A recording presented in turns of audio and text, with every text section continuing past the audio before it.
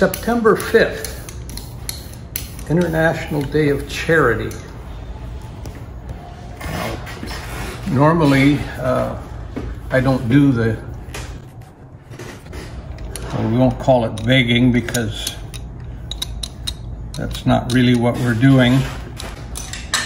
But since we are a non-profit, we rely heavily on donations to keep the museum operating and able to do the things.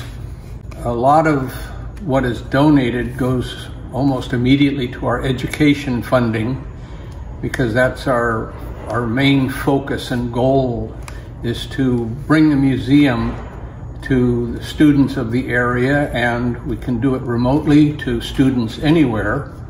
So I've set a little type.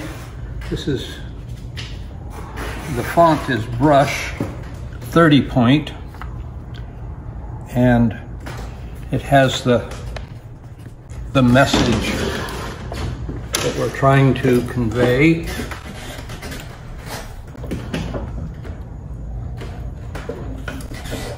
And